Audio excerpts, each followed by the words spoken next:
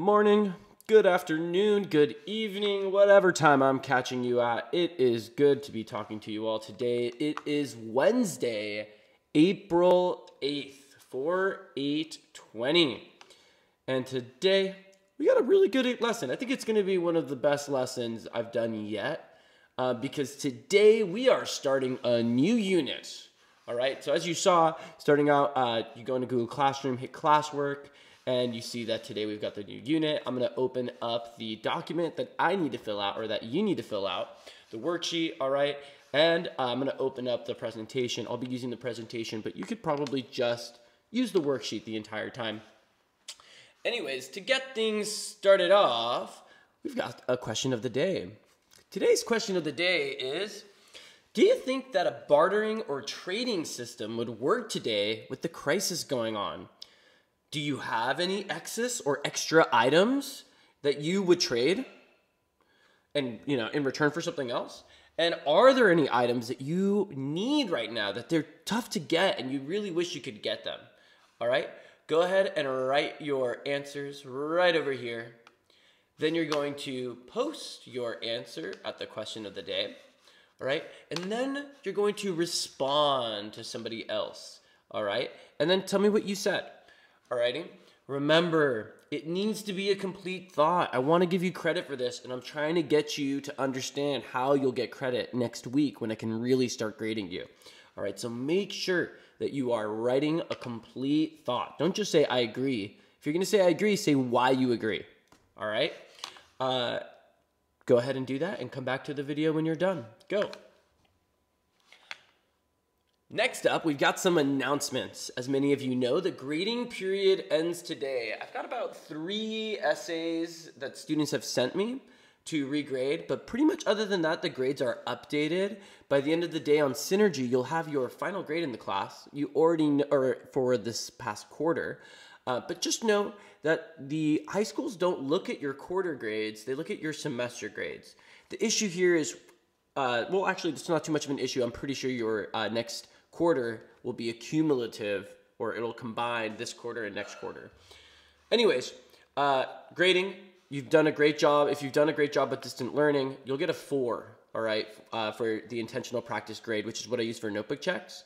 Um, but if you have not, you'll get an E, which is an excused, and it won't hurt or help your grade. All right, and mainly that's because I'm technically not allowed to grade you for what we've done. But on Monday, April 13th, I can start grading you. Alrighty. So uh, please, please, please, I think I'll do it on a weekly basis so you can get a lot of points for doing the work, okay? There will be some slight changes to the rubric for the magazine project, but it's still due. It's an exciting change. I'll be telling you about that on Monday. That would be the best time for me to tell you, all right? So don't worry too much about that. Uh, just keep working on your magazine project, all right?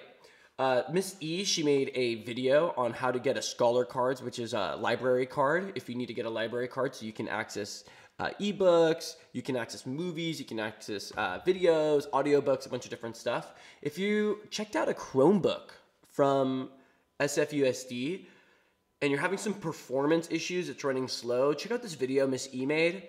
And also, I put under the announcements if you'd like to make an appointment with me for writing help or any other help that you might need right now, please feel free to make an appointment with me. I've got two appointments booked today. I've got another appointment booked tomorrow. Um, still lots of time slots left, all right? So feel free to book an appointment if you need any help with the writing.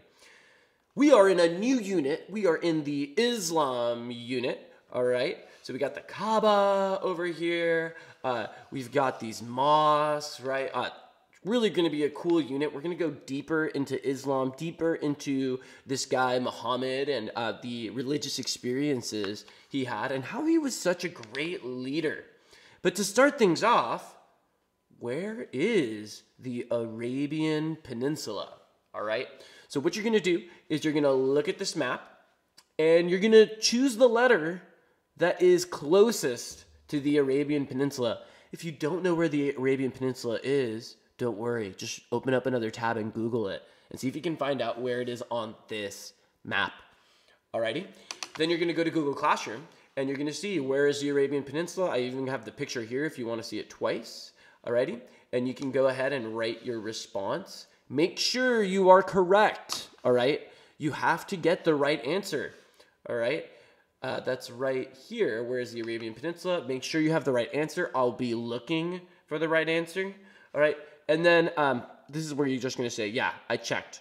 I checked to make sure I have the right answer. Okay. Go ahead and do that and come on back to the video. Next up, we've got this beautiful satellite image of the Arabian Peninsula. Kind of looks like a giant foot with the toe that needs to be trimmed, toenail that needs to be trimmed. Anyways, uh, if you take a look over here, what we're gonna do is by looking at the satellite images, we're gonna come up with an inference or an educated guess. Alrighty? So, how would you describe the geography? Is it dry? Is it wet? Is there a lot of different types of climate zones, right? What's around the coast? What's in the center? What resources do you think they have? All right. Uh, what areas do you think this peninsula might trade with? And what do you think life is like here during the Middle Ages? Alrighty. Go ahead and answer the question. And for this one, it's an inference. So it's okay if you are incorrect. It's all right. You can change your answer if you'd like, but please respond to at least one person. Alrighty? So write your answer here, copy that answer and paste it into looking at the satellite image. Write your answer then here. Then respond to somebody and post who you responded to right here. Feel free to pause the video and come on back when you're done. All right. The next thing you're to do is a little bit of reading and taking notes. Alrighty.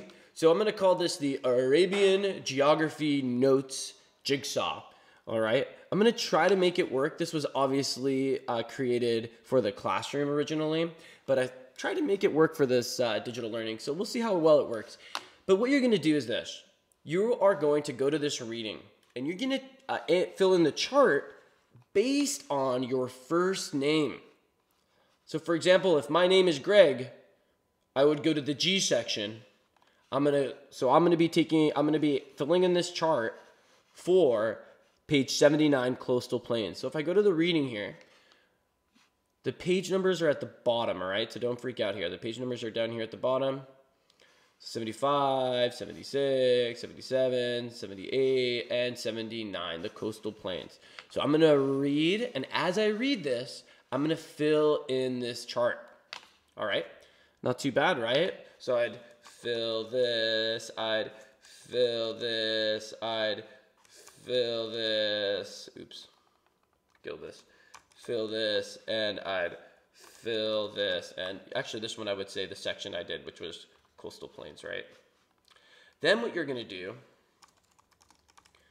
and this is this works out pretty well. You're to copy all of this you're to go into Google Classroom to the next question, which says Arabian Geography Notes Jigsaw. You're to open this up. You're going to just paste your answer here, and it pastes it super, super well. All right? And then you're going to hit turn in. Once you hit turn in, you can see everybody else's. So what you need to do is you need to find a different section. All right? you need to find a different section. So you have to read somebody else's chart. That's a different section, and then uh, and then you're gonna fill in your chart, fill in the chart based on the other person. So let's say I read Greg's, right? They did it on deserts, right? Because I did coastal plains. I'm gonna write what they wrote for a description of the location. I'm gonna write what they wrote for adaptations, and I'm gonna write what they wrote for what they think the common resource is for that area. Cool? It's a jigsaw. And then thank them. Write them a comment and thank them for their work. All right? Feel free to do that, pause the video, and come on back when you're done. Okay, everybody. The last thing is to work on your history magazine project. Why? Well, because the third paragraph is due today, Wednesday, April 8th. And all your writing that means your fourth and conclusion paragraph is going to be due on April 13th. That is Monday. I'm realizing now I forgot to post a document to help you with the conclusion. I will go ahead and post that right now. Um, just so that it's at the top of your page. But I'll go ahead and post that to help you if you're working on your conclusion paragraph, what you could write there. Last but not least, you've been writing a lot. Try to find somebody to peer review your essay. Remember, if you go over here and you head uh, head over to on the left hand side, you can see there's a spot that says email, class email list, right? Remember, you can see everybody's email here. Feel free to email somebody from class and say, hey, will you check my essay? We'll get AWW points, all right? Um, and you'll get better at writing essays by helping somebody else with their essay.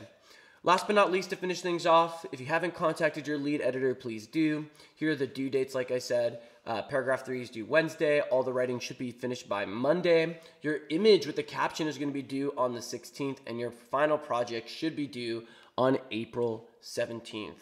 Alrighty? Make sure you turn in this document. Have a great day, everybody. I hope this lesson worked out well, and we will continue with Arabia and Islam tomorrow. Have a fantastic day and take care, everybody. Bye bye.